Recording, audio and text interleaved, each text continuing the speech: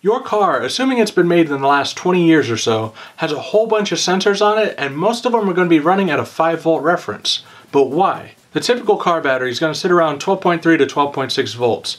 After you start the car up, the alternator takes over, it's going to produce a little more voltage, but not too much. So since the car already has a voltage it's working with, why don't they just build the sensors to work with that voltage? One major factor is that the voltage coming out of your alternator is very unpredictable. Even if you're sitting still at idle and not messing with any of the controls, there's a ripple in the alternator voltage signal. That's not something you could see by putting a multimeter on it. The refresh rate on those is way too slow to see it.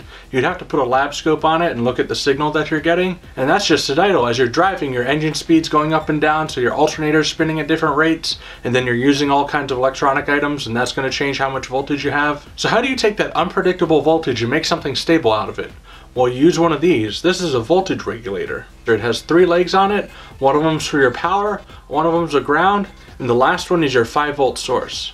One of the limitations of these things is that you have to start out with a higher voltage than your end result voltage. With this 5 volt one, you have to fall well below 12 volts for it to stop producing 5 volts. So with that in mind, why 5 volts instead of say 9 or 3? Well, by the time the automotive industry really started loading their cars up with sensors, 5 volts had already been established as kind of an industry standard. Coming up with a new voltage standard for cars would have meant abandoning all the research data that you already had on 5 volt sensors, so it wasn't a good move to do that. Going with a moderately low voltage also meant you wouldn't be working with as many amps, so less heat would be generated and it's safer for the computers that deal with those sensors. Hopefully this video has been educational. If you feel like I left out any vital information, let me know in the comments and until then, I hope to see you in the next Cars Simplified video. Thanks for watching.